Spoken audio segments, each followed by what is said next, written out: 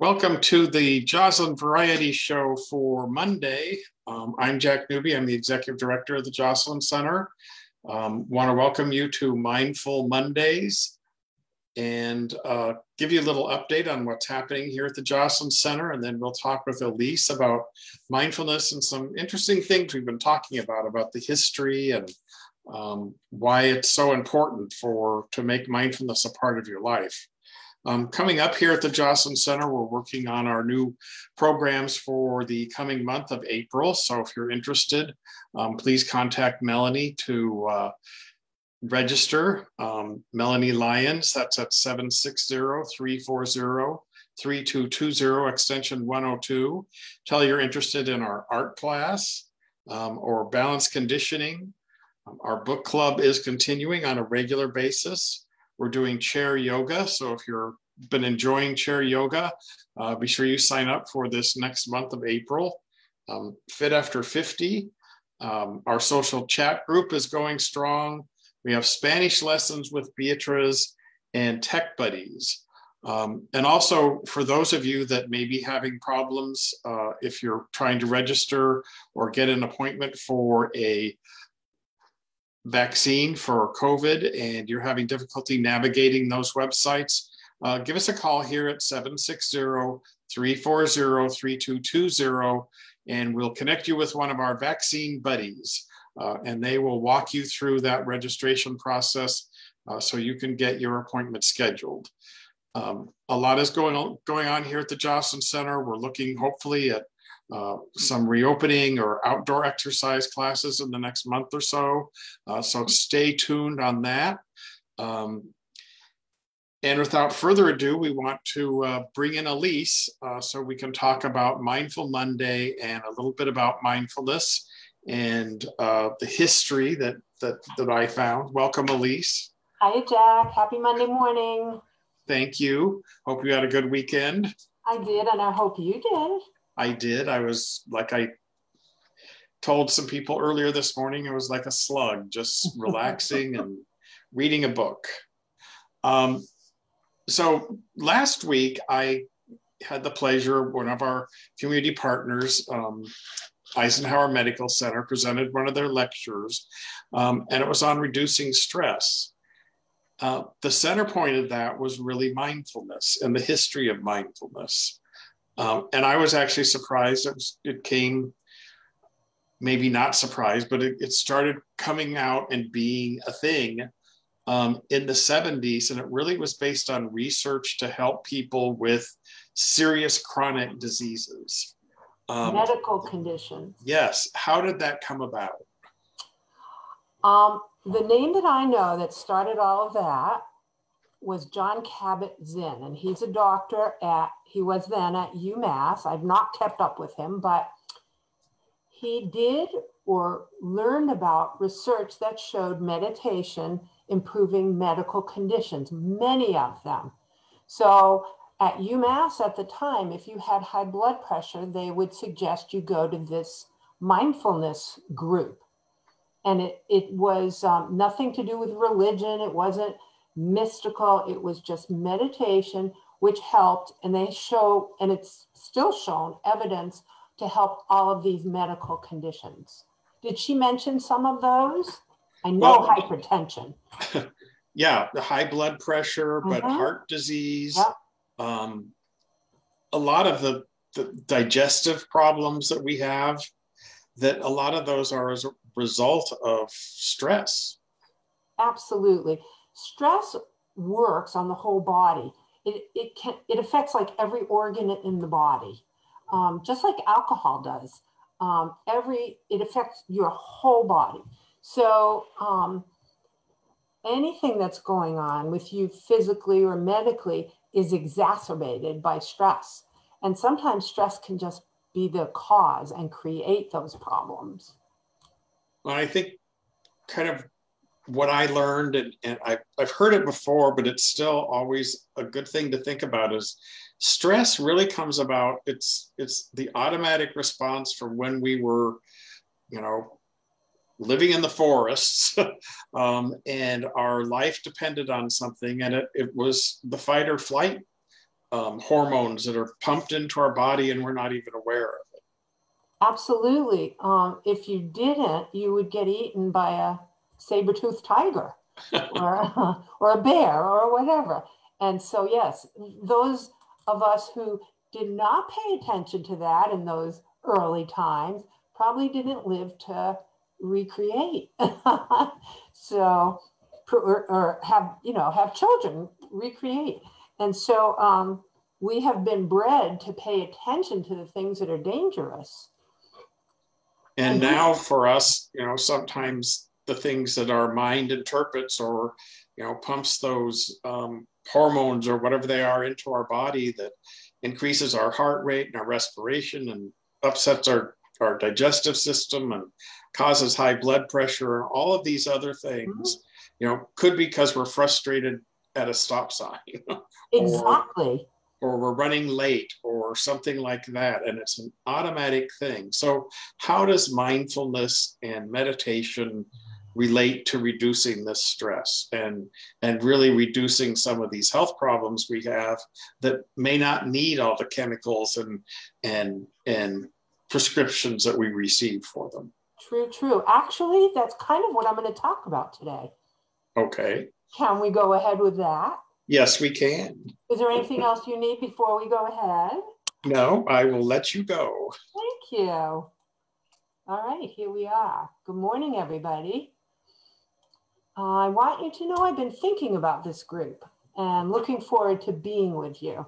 I, that means I'm kind of getting used to not being able to see you, which you know has been a challenge for me, but I think about you. What did you, oh, first let's do our breathing. Three deep breaths. In through the nose. Out through the mouth. If you can move at the same time, all the better. In through the nose. Out through the mouth. One more. In through the nose out through the mouth. Good job. Doesn't that feel good? What did you think of last week's crash course on meditation? I must say, I can always like something where there's no way to fail. so I had some additions and they kind of speak to what Jack and I were just talking about. So I'm reminding you that no, you can't fail because if you intend and you try, that is success. There's no judgment on it, negative or positive. Think about that. Even if you meditate well, we don't focus on how well you meditated. If you think you meditated poorly, we don't focus on that. We go with the flow. Here's the thing it's not an ambitious endeavor, okay? Our lives are full of ambitions to get to the grocery store, to get home, to get the groceries unpacked. Meditation, that's not what it is. We accept whatever our meditation is like as long as we're trying. And we just try to totally accept whatever our meditation is and avoid self criticism. And you'll like this if we aren't able, are not able to accept whatever it is, we accept that. So if we have to criticize ourselves, we accept the self criticism and don't make a big deal out of it. And the idea here is to transpose this whole frame of self acceptance, accepting what it is, onto our lives. You don't meditate to become a good meditator. And here we're going back to our health and our life and our body. We meditate to be more in the flow, to be peaceful. So when we're peaceful and accepting what is instead of fighting against it, that stop sign or um, the line at the cashier, if we don't fight against it, we don't get cortisol. That's the one that being scared and anxious and ambitious gets into our blood. Cortisol. And that exacerbates every medical condition. Our body doesn't like it. The only time our body needs cortisol is if we're really being threatened. And then we hope that we do react very fast. Other than that, we have to try to get rid of the old the old um, primitive ways of reacting to things that don't apply anymore. There aren't saber-toothed tiger, tigers, you know, around every tree. So when we're meditating, our attention turns from breath, when our attention turns from the breath awareness. Wait, so meditation is breath awareness, sitting still, taking a few minutes, and being aware of our breath. When our attention turns away from our breath awareness, which it will, because that's what our minds do, they think. And that will happen.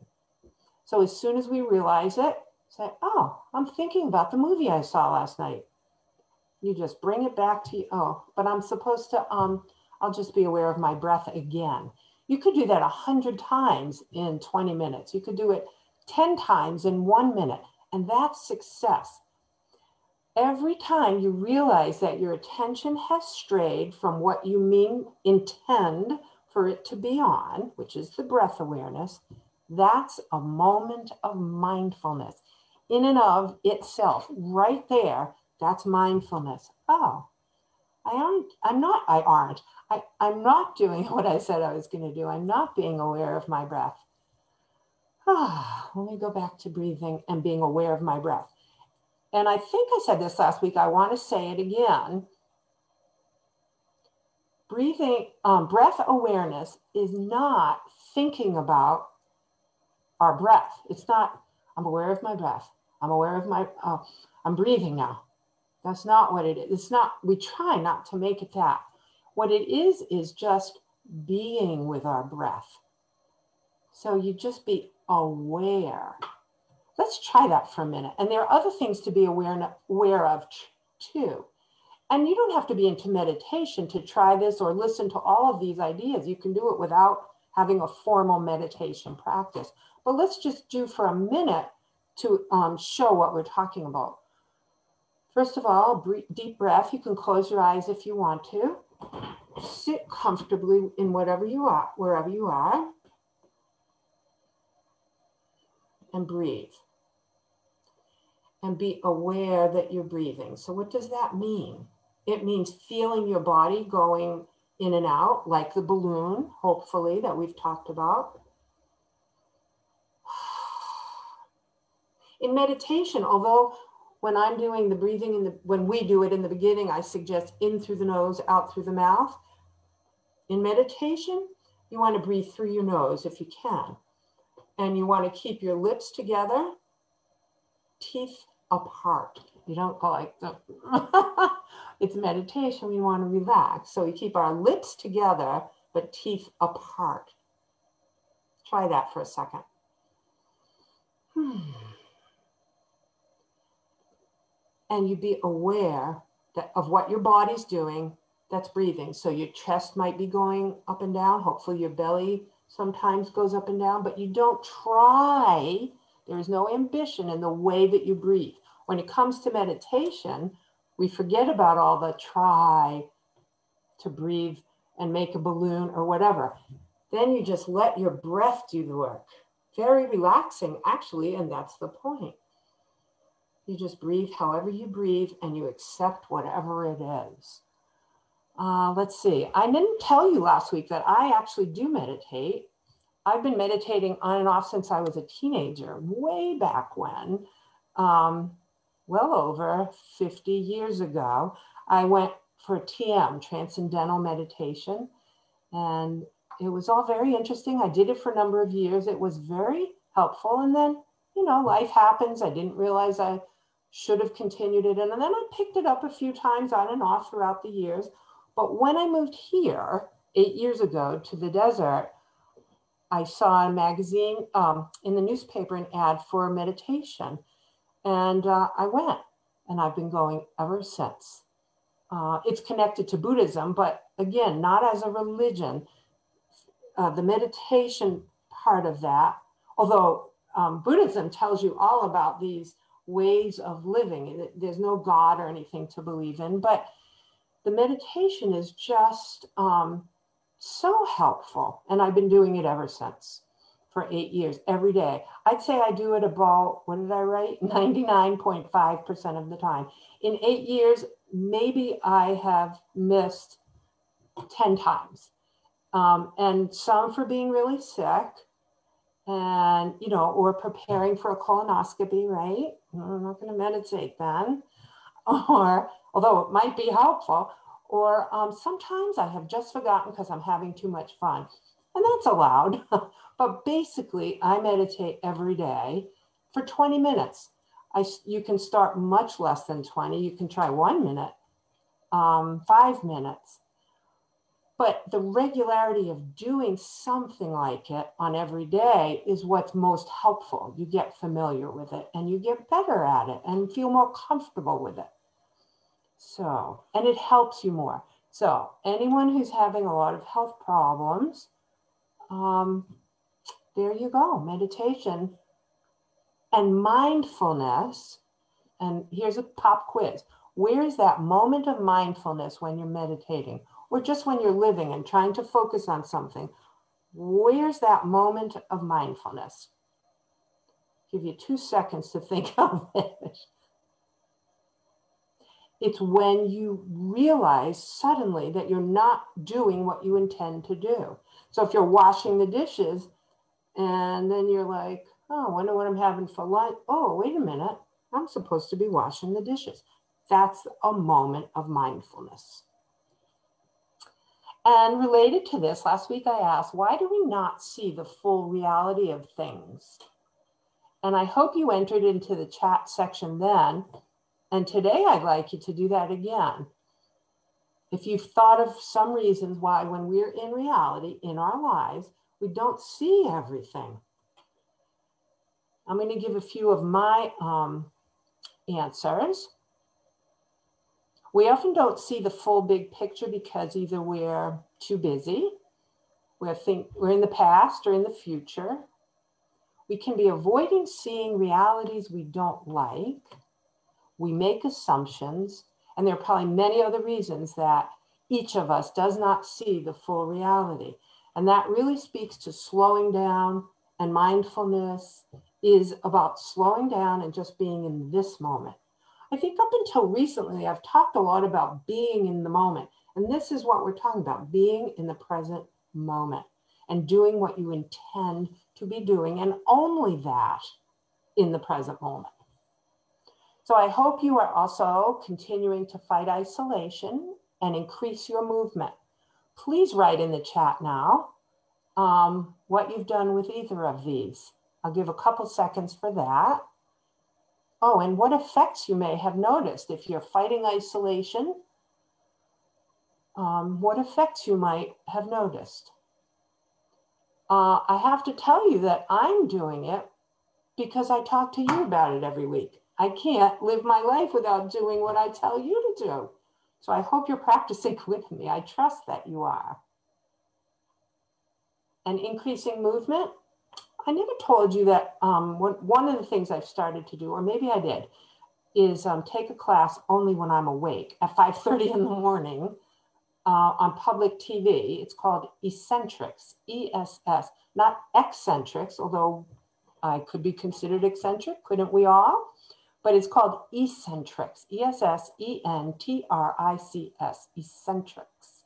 5.30 in the morning, public TV, and when I'm up, it's a very good class. It's gentle, but hard at the same time. And um, you don't have to injure yourself doing this.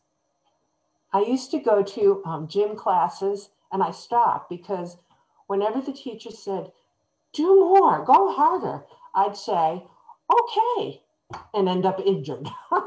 this one, she's very, she talks to you a lot about don't do more than you can and when to stop. But it is, it's not by nature a very well you if you ever see it or you could look it up online Essentrics and then i'd like you to enter if you've gotten some things accomplished this past week please put those in the chat right now and then i'll tell you about my desk i think my desk is a barometer of my life i could just go anybody could go look at the state of my desk, which is actually quite small, and um, know how I'm doing. Right now, the it has a rolled, it's an old fashioned roll down, uh, a fold out top, and then you put the top back in. And right now the top's actually back in. I've gone for months where there was so much on it, the top just stayed out all the time. So that's good for me that, that it's closed right now. Okay, I think that's good. Oh, I know what else. So we talked about horoscopes last week. I have them all written down here. So if anybody wants to talk more about that, I can go back to this page. I went ahead and copied down the summary for each sign and then whether each sign is fire, air, earth, or water. So, oh, and, and signs are either generally male, positive, self-expressive, or female, negative, self-containing, whatever all that means. But if you're interested, let me know, email me, and we will um, pursue that sometime. Uh, we do have some fun questions, but first I want to make sure to give you the dates of our next programs. Our Aging Mastery is currently going on. That's the 10 session one. I bet you know this. Some of you might, might even be in Aging Mastery. It's really great. The next one starts April 13th and it goes through May 13th. And Aging Mastery gives you all those chapters and categories that you need as you grow older, things you need to know and do. The Brain Boot Camp's been very busy. We have one now. That's the two weeks in a row. The next one is March 24th and 31st. Um, they're always from 1 to 2.30. So the next one's March 24th and 31st. The one after that's April 7th and 14th. The one after that is April 21st and 28th. Then we have three more planned, but I'm not going to read all those dates too. We have one more in one in May and two more in June. But the next one is March 24th, and the one after that starts April 7th. Okay, fun questions. What's the, one of the best things that's ever happened to you? One of the best things that has ever happened to you. You can type this right into the chat. You can think about it. Hmm. I find I can't think of it right now. I did not prepare my answer and I can't think of one. What's one of the worst things that ever happened to you and how did you overcome it? I can think of some bad things that have happened to me. One was a, a major surgery. One was another one was like a major illness. And all of those that happened, I really um, breathed, breathed through it, and talked to myself and said, You're going to do this. You have to do this. It'll be okay.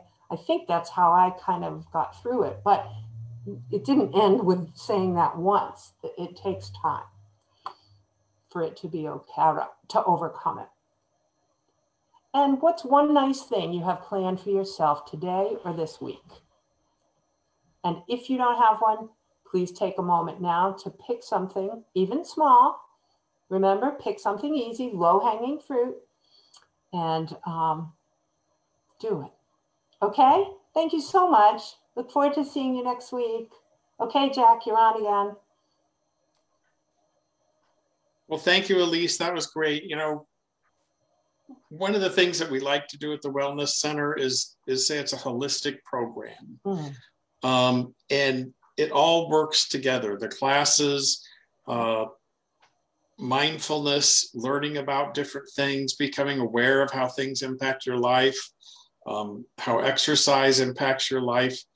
It's too often, I think sometimes we look at things, if I would just exercise more, this would happen. Or if I would just meditate more, this would happen. And it's really bringing it all together as a part of as a part of our life, as a regular part of it. So that's a really important part and, and a unique part of um, the Joslyn Wellness Center. And I just want to mention we do have coming up, I don't have the dates in front of me, but um, you can check our website. Our A Matter of Balance classes are coming up um, with Suzanne uh, Spencer, and she will be leading those classes.